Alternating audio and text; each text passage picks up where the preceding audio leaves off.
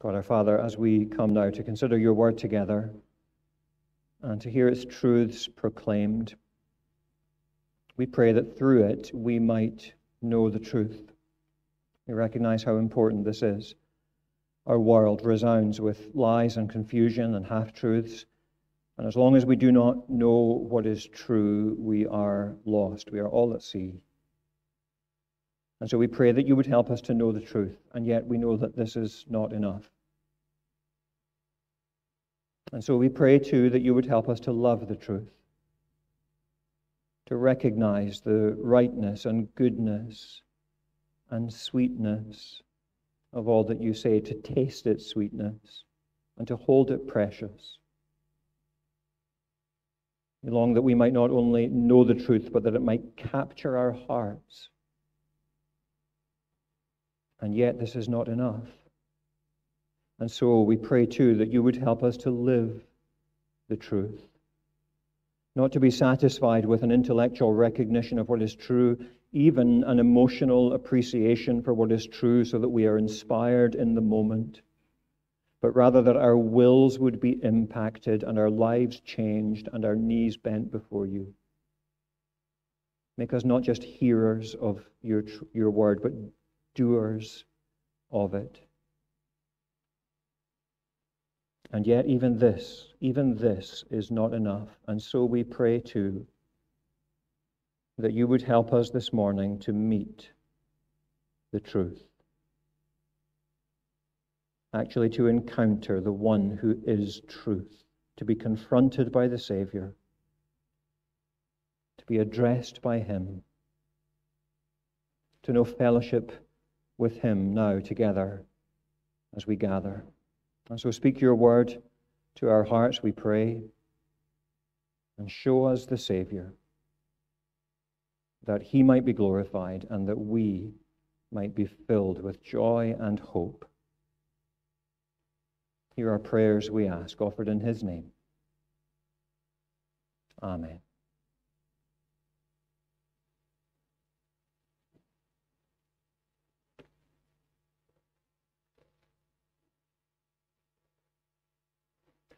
I recently saw an astonishing and terrifying video clip it was taken by a man who was hiking in some mountains somewhere or other, I'm kind of in the foothills, but there were some higher snow covered peaks ahead of him. And at one point, he heard an enormous crack and saw some snow up on these mountains or in a, in a kind of hollow between these mountains begin to move and begin to move in his direction. And so he did what you do when that kind of thing happens in the 21st century, he took out his phone and started to film. And he filmed, and the, the, the video is mesmerizing. It is absolutely mesmerizing. You watch as this avalanche begins, maybe, I don't know, somewhere half a mile to a mile away, something like that. And, and it starts to get bigger and bigger and wider and wider, and it gathers pace and it's heading straight at you.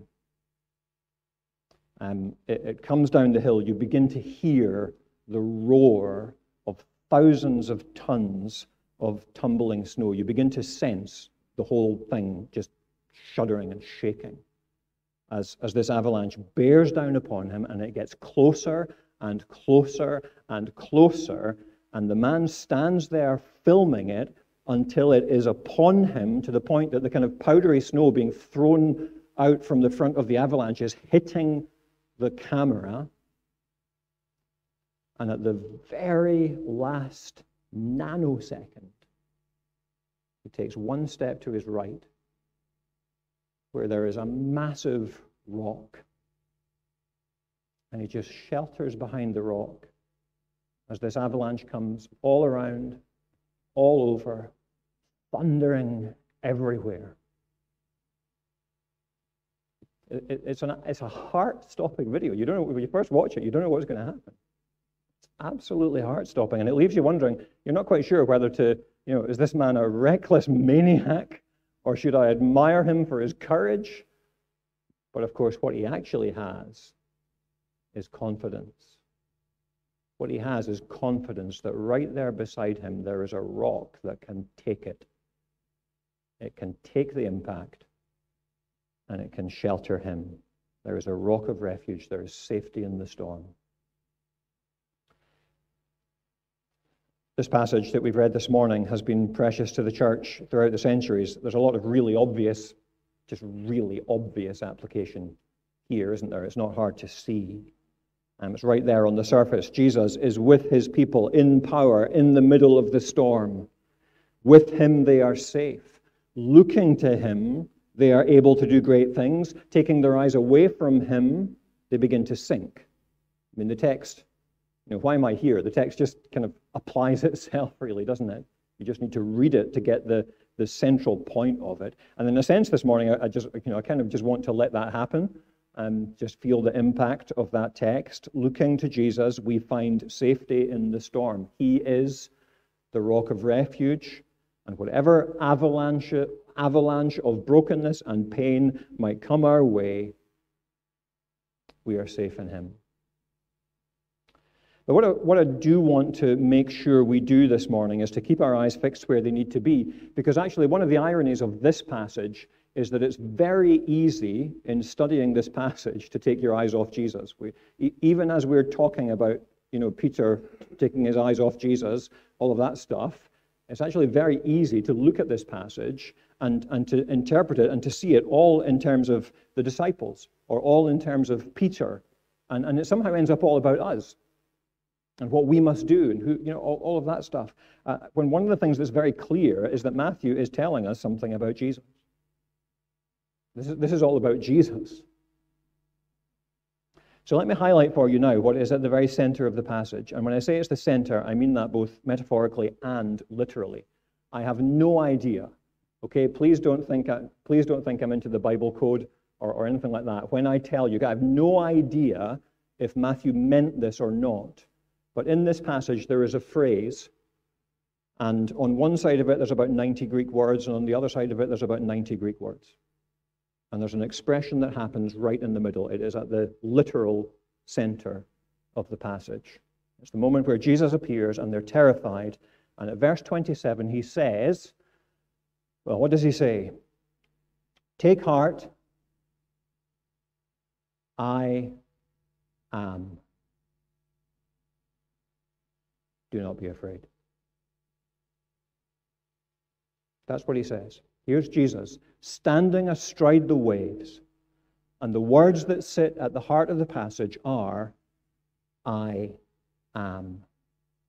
Ego eimi. That's, that's the Greek. Translated here, because it's the natural way to translate it, it, it is to be, it, it is the way that you would say that. If you wanted to say to someone, it's me, that's what you would say. But of course, Every text has a context, doesn't it? And read in its context, these are profoundly significant words. Surely we are intended to see uh, more, aren't we, in this, this account of one who is displaying in his character and in his work the God who revealed himself to his people as, I am who I am, which is roughly what Yahweh, the, the, the name of God, the name that God gave to Moses, what will I call you? What will I tell the people is your name? I am, says God. And so, this is how we can take heart as the wind blows and the waves crash. This is how we can not be afraid as the avalanche bears down upon us. This is the story of I am in the storm. And so, as we fix our eyes on Jesus, I think we find four aspects here of, of who he is and what he does. So, here's the first of them See the tender hearted shepherd who prays for his sheep. It's important to slow down long enough to see that. And the, the, the, the eye of the imagination wants to rush on to the drama of the storm and the sea and the miracle of Jesus walking on the water and the lesson of Peter walking and then sinking. That, that's the drama, but slow it down linger for a few moments on the lead in. We've just had the feeding of the 5,000, and then verse 22 immediately he made the disciples get into the boat and go before him to the other side while he dismissed the crowds. And after he had dismissed the crowds, he went up on the mountain by himself to pray. When evening came, he was there alone. What is Jesus doing as the disciples are setting out across the lake? He is pouring out his heart to God. Remember what's happened.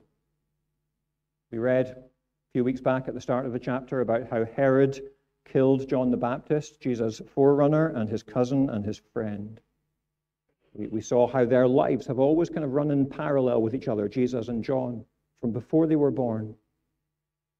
How Jesus' heart would have been heavy with grief, and how he would likely also have seen in John's death a foreshadowing of his own. And so when he received the news, back at verse 13, he made to withdraw to a desolate place by himself. He needed to spend time with his father, but what happens? He's spotted. Someone sees him. And they follow him on foot from the towns. And although his own heart was heavy with grief, what does he do? Verse 14. Does he say, Look, I need some time, just need some me time. Give me a break. When he went ashore, he saw a great crowd, verse 14, and he had compassion on them and healed their sick. Um, in Tyndale's translation, when Jesus went out and saw much people, his heart did melt upon them. Lovely phrase. His heart did melt upon them. And so he laid aside his own needs and his grief and the heaviness of his heart, and he served the people. And he does this all day until evening comes, one healing miracle after another, and then the feeding of the thousands who have gathered round him. And now night has come, and this grief is still lying heavy on him and the growing awareness of his own coming sacrifice is still lying heavy on him. And it's combined now with sheer physical and mental and spiritual exhaustion after the labors of a long day. There, and there is much more work before him. The need is endless, but, but now it's time. It says, You guys go on. You take the boat, you go on. I'll, I'll catch up. Wonder if he said that. It'd be great, wouldn't it? I'll catch up, don't worry. Um, you go on. I, I have something I need to do. It's not an isolated scene, is it? If you think about the Gospels. Over and over again in the Gospels, we're told that Jesus withdrew. He withdrew to a lonely place to pray, or he went up a mountain to pray, or he went into a garden to pray. He prayed in the morning, he prayed in the evening. At times, he prayed all night. the lovely um, verse in a hymn that we sometimes sing, O Sabbath rest by Galilee. You know that verse, O Sabbath rest by Galilee, O calm of hills above, where Jesus knelt to share with thee the silence of eternity, interpreted by love. And so, well, there are two aspects to this. Here's a first simple application before we go any further. If Jesus needed this, can we do without it? Are we giving ourselves to prayer in this way? I'm sure when he prayed, Jesus would have asked the Father for all kinds of things, but I think the heart of this surely was, was just being with his Father, wasn't it? It was, it was the enjoyment of communion with the Father, time with him, time to praise him.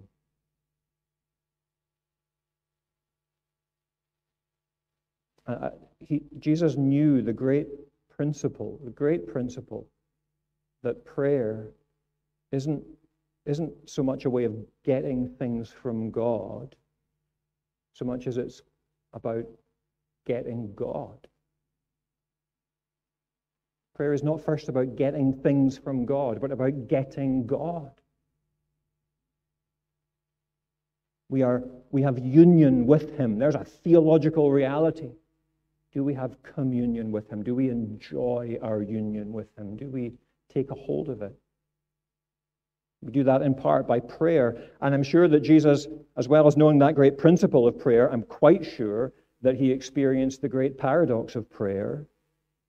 Because I've talked about this before, there is a sense in which prayer is utterly exhausting. It doesn't happen without, without effort and commitment and the expending of spiritual energy. And yet, at the same time, it is this communion with the Father that fills us with life and vitality. You read, you read this account, if you read it closely, you think Good grief, man, when did you ever sleep? Gets up off his knees again. And what's he ready to do? Miracles, healings, teaching. Prayer, prayer has, has this astonishing power to renew the spirit. It is what we need. It should be like breathing. And John Stott put it like this He said, uh, Men and women are at their noblest and best when they are on their knees before God in prayer. To pray is not only to be truly godly, it is also to be truly human. For here are human beings made by God, like God, and for God, spending time in fellowship with God. Let me tell you one of, there are, there are several quotes from Robert Murray McCheyne that terrify me. Um, he has quotes about holiness and ministers and things like that. But here's another quote from McCheyne that terrifies me sometimes. What a man is on his knees, alone before God in prayer. That he is, and nothing more.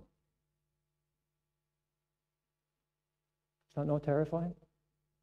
What a man is on his knees, alone before God in prayer. That he is. Nothing more. What was Jesus alone on his knees before God in prayer? He was the Son of the Father. So we learn from his example, but that, all of that is actually more or less on a side because the real, the real thrust of this, the real thrust in this text is that we benefit from his work. I, I think there's significance in the way that Matthew records this. Look again at the end of verse 23. Look where he goes with the, the flow of the, of, of the sentence. When evening came, he was there alone, but the boat by this time was a long way from the land, beaten by the waves, for the wind was against them. He, he puts the two things together. Jesus there alone, but the boat, this was happening with the boat. Mark specifically mentions in his account that from where he was, Jesus could see them out. They're several miles out, but he could see them out on the boat, straining at the oars, struggling against the sea. We can't be precise about this. We, we, we um, Matthew wasn't wearing a watch, I think, but um, Jesus seems to have headed up the mountain as night was falling. And he comes to them, it says, in the fourth watch of the night, which is 3 a.m. to 6 a.m. And so, what you have, you put all the pieces together, and what you have is a significant period of time when the disciples are struggling on the sea, they're rowing and rowing and rowing, and the wind is against them, and they're not making much headway at all, and the boat is being beaten or battered, is the sense of it, battered by the waves. And Jesus can see this in the moonlight, presumably, because it's the middle of the night, and he's praying. Apparently, there are um, surprisingly few significant paintings based on this passage. Most, be aware, maybe be aware through history, most of the Gospels really, um, you come to an incident in the Gospels, if you go looking, there's paintings. Um, it's been such a, an inspiration for, for painters through the centuries. Um, most incidents in Jesus' life painted often, but this one less so. And where this passage has been painted, it's almost always that moment where Peter is sinking you know, Peter's come out of the boat and he's sinking, and Jesus is, is reaching out to him. That, that's what the artists depict. But seemingly, there is one Victorian painting. I, I tried, I, I, looked for it, I can't find it. Um, there is one Victorian painting which depicts the first part of the episode. So it's a, it's a big painting, and um, almost all of the canvas is taken up with this raging sea. It's dark, um, moonlight, you know, it's just a raging sea and, and a storm tossed boat, and disciples straining desperately at the oars and terrified, and it's dark and it's dramatic, and there seems to be nothing but fear and danger. And then you notice over to the side, there's, there's just a, there's a hillside, and a, and a shaft of moonlight has pierced the clouds and fallen on the hillside, and there is a figure on his knees between the rocks. And that artist saw some. That artist paid attention to the text. He saw what Matthew wanted us to see.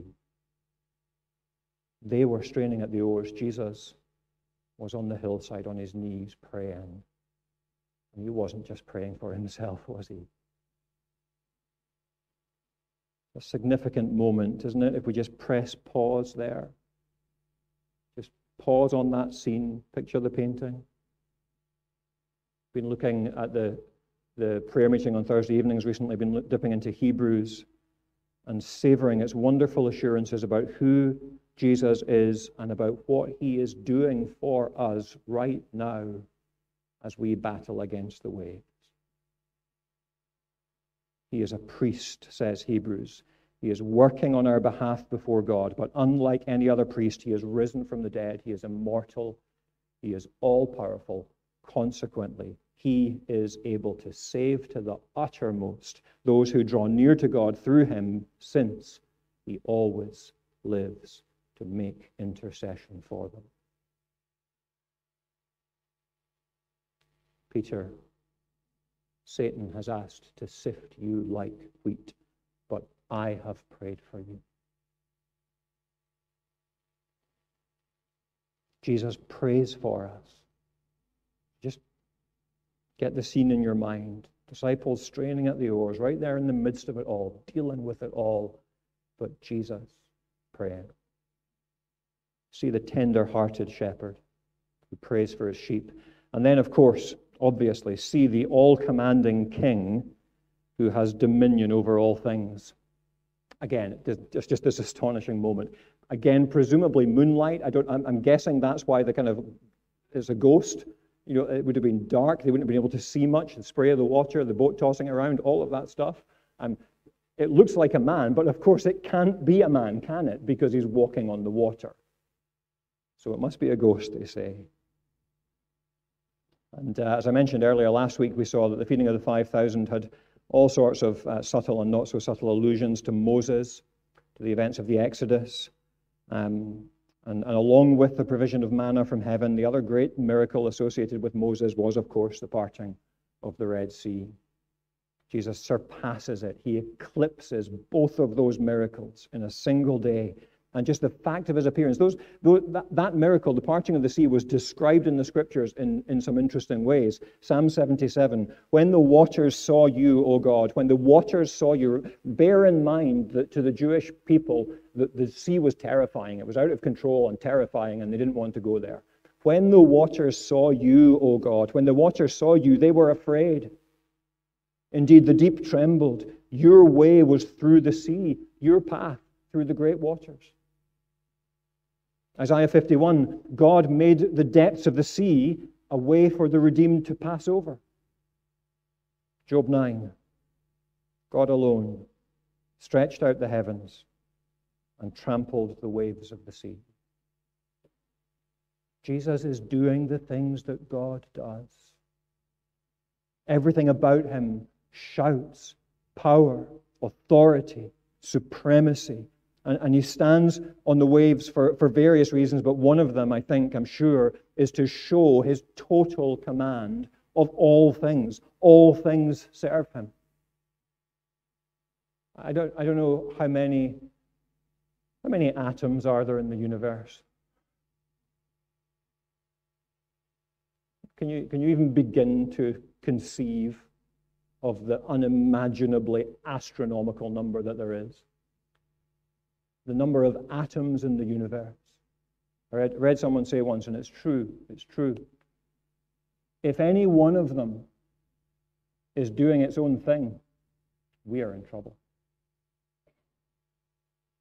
If any one of them is free of the control and command of God, we are in trouble because God is not sovereign.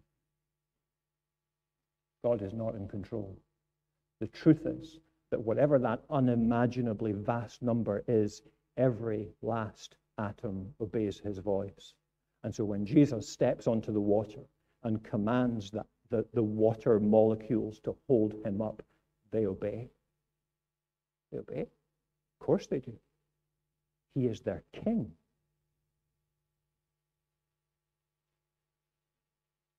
So his appearing is itself a claim to majesty and supremacy. And then those words Take heart, I am. Do not be afraid. Mighty, momentous words. I think I've mentioned before, it's a silly story, but I think um, Lord Mackay of Clashfern when he was um, Lord Chancellor.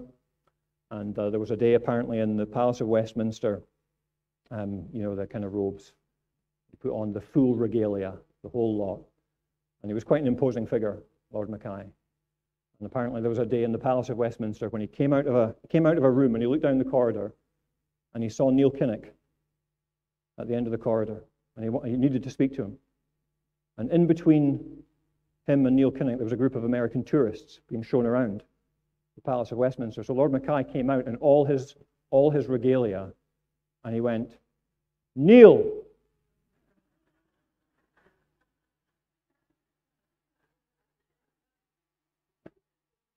I would love to know if the story is true. The story goes that they did. Love to know if it's true. There's, there's something of that here, isn't there? But in, a, in an infinitely more powerful way appearing in the midst of this storm. I am, do not be afraid. Total command, utter majesty, utter impressiveness. And there, there are moments in the Gospels when Jesus speaks and his voice, it doesn't matter whether, sometimes it says he cried out in a loud voice, sometimes he just speaks, it doesn't matter. It doesn't matter. His voice is like thunder.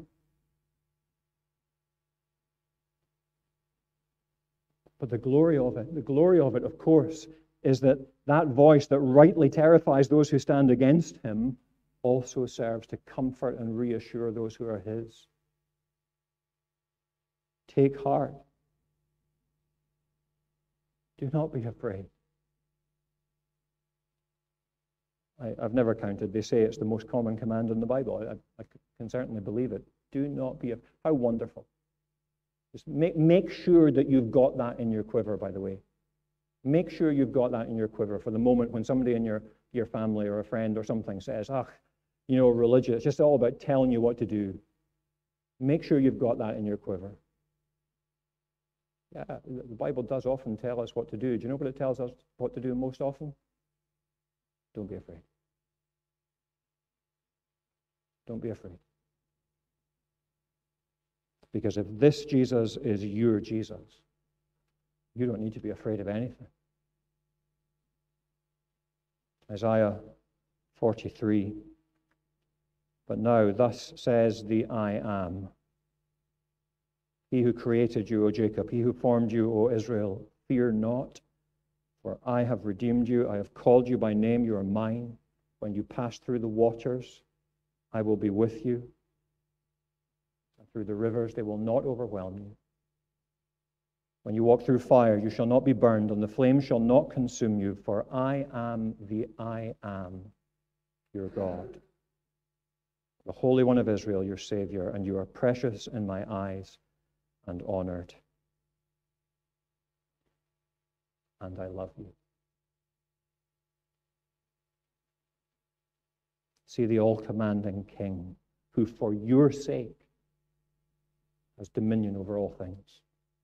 Thirdly, see the ever patient Lord who nurtures his followers' faith. That, that's the point, isn't it, of this incident with Peter? I mean, I mean, this is the movie moment. You know, the, the, this clip goes in the trailer, doesn't it? It's an astonishing moment. Peter grips the edge of the boat. You have to picture it. I've missed my career as a movie director, I think. Picture it as he grips the edge of the boat and, and, he, and he puts his leg down and he puts his foot down onto the water. And in that moment, well, in the movie version, somehow all the, all the noise of the waves, all the clamor and everything just kind of dulls away into the background, and you can just hear his heart hammering inside his chest as he steps down and stands looking at Jesus the whole time. He stands and he begins to watch us come. Peter got out of the boat, verse 29, and walked on the water and came to Jesus.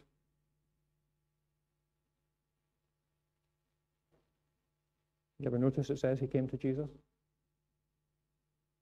I think I've always pictured this as he got out of the boat, took two steps, and then boom, came to Jesus. He went all the way to Jesus. He was right there in front of him so that Jesus was able just to reach out when he did sink.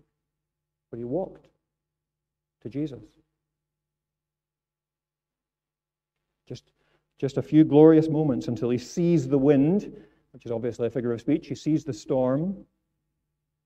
And, and at that, he begins to sink like, well, like a Petros. There's a Greek joke for you. Anyone get it? Peter, the rock, begins to sink. As I said earlier, the application is obvious uh, to the point that I don't think I need to drive that home any more than the text does. Just fix your eyes on Jesus, says Hebrews, the author and perfecter of your faith. In many ways, fixing our eyes on Jesus is what faith is, isn't it? To live by faith is to live with your eye fixed on Jesus. In the midst of the, the, the, challenge that comes, the difficult time, the difficult word that's spoken to, you, whatever it is, to, to fix the eyes on Jesus. That is to, to walk by faith. And that's the lesson he's driving home. That's the point. Um, back in chapter 8, we, we saw Jesus calm the storm. Do you remember what he says to his disciples? And um, they cry out to him in the Greek, it's, really dramatic actually. In the, in the Greek, it's three words. It's translated in the ESV, save us, Lord, we're perishing. In the Greek, what they, what they do, they shout out to him. You again imagine the drama of this storm and the noise and, and thrown about all over the place. And, and, and they shout, Save, Lord, dying. That's what they say. Save, Lord, dying. And do you remember what he says to them? Before he does anything else, before he calms the storm, O you of little faith. O you of little faith. Why are you afraid? And, and that expression is a single word that Jesus makes up by putting together other words. O little faith ones, what he says. O little faith ones. Why are you afraid? And here, Peter, he saves Peter, and what does he say at verse 31? Oh, little faith, why did you doubt? It's interesting. Uh, Matthew refers to this disciple as Peter, but that's only because that's what he became known as. And when, when this happened, if the disciples were, you know, in the middle of that storm and they were shouting to each other in the boat, he would have been called Simon. That was his name. He's only called Peter from chapter 16 when he confesses um, Christ, Jesus as the Christ, the Son of the living God. And it's in response to that that Jesus says, I tell you, you are Peter, you're the rock. And on this rock I will build my church. But I think it's helpful to take, the, they come in fairly quick succession, and I think it's helpful to sit them next to one another. It's as if Jesus gives Peter, gives Simon, rather, this, this paradoxical new name. You want his full name? Peter Littlefaith. That's what he's called Peter Littlefaith. Peter, the rock, Littlefaith, the unstable one. That's what, that's what he's like, isn't it? You know that. If you know anything of the Gospels, that's what Peter's like. This one moment, that the next moment. You're not going to, you're not going to wash a centimeter of me. Wash all of me. I will never deny you. I don't know him. Peter, Littlefaith. And I think the reason it's so helpful is that it's all of us, isn't it? That's the Christian life. That's the reality of Christian experience. We're all like him. I know I am. One second, with eyes fixed on Jesus, we can do anything. One second, there, there, there are moments when it seems impossible not to believe. Of course, it's true.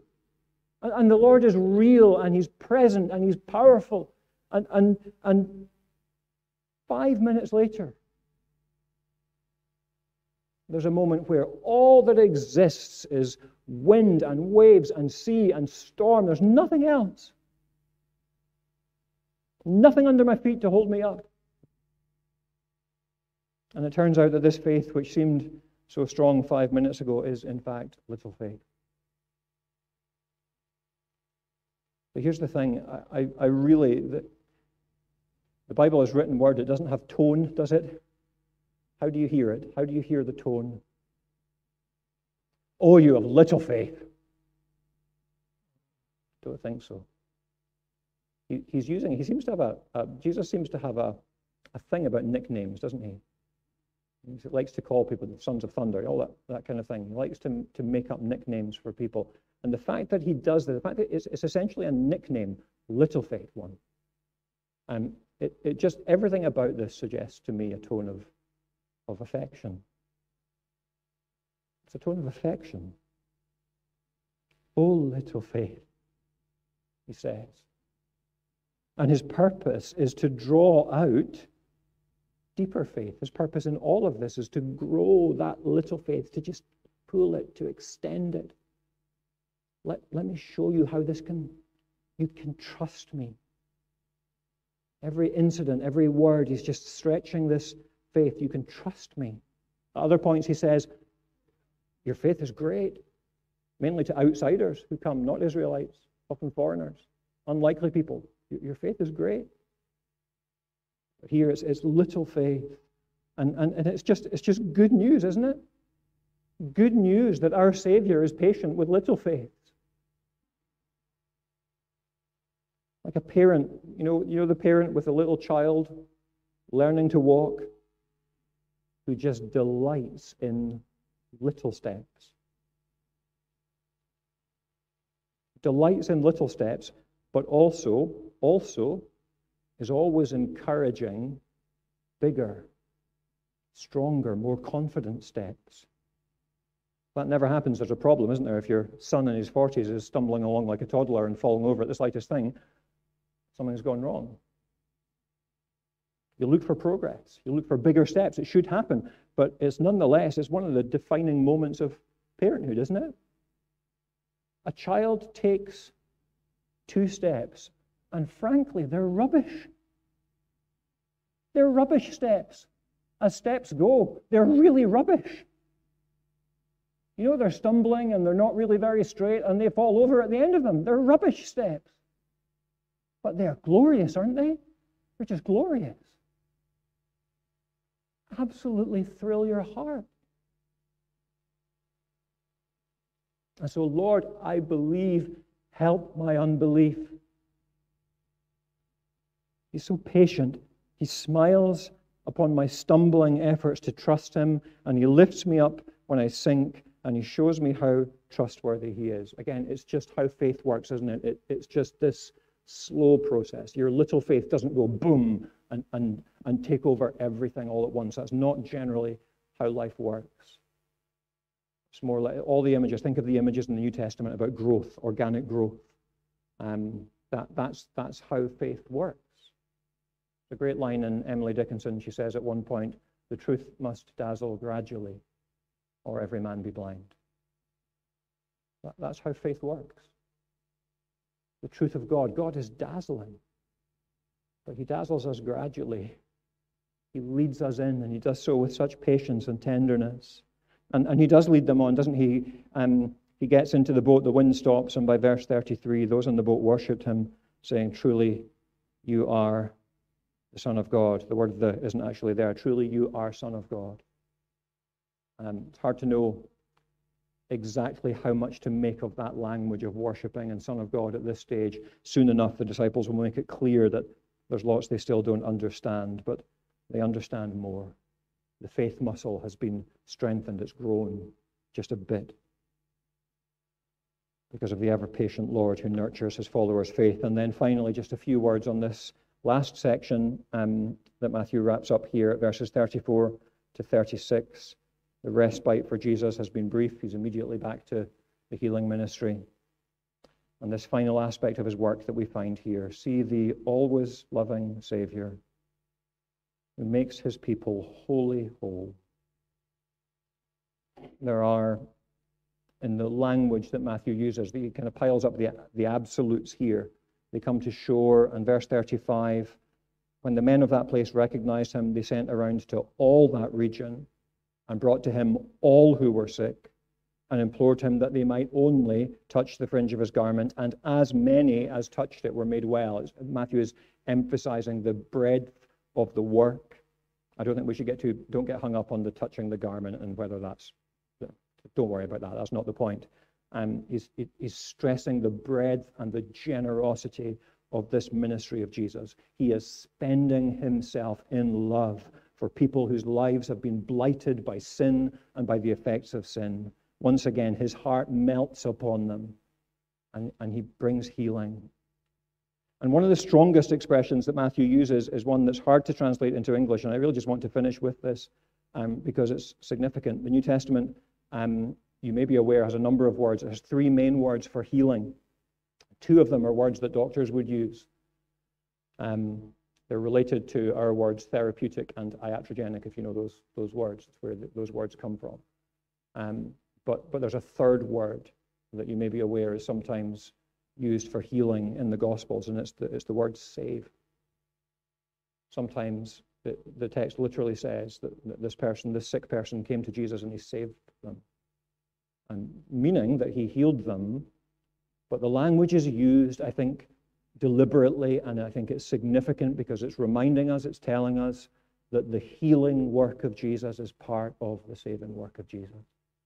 Part of what he does when he saves us. He begins to heal us now. He heals us completely one day.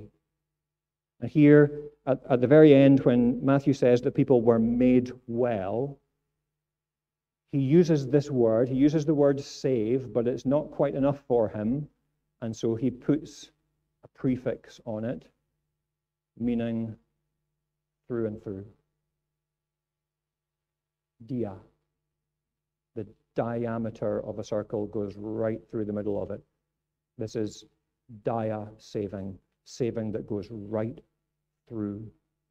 He made them wholly whole. This is what he can be trusted to do.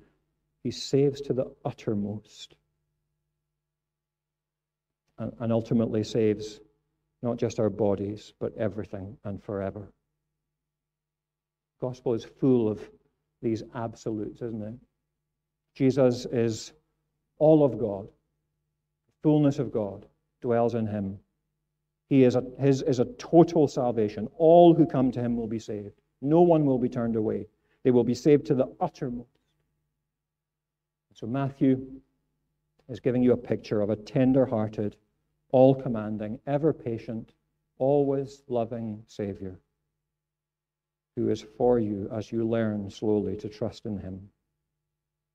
He's telling you, He's showing you, right in the very center of every storm you ever face. I am. Let's pray.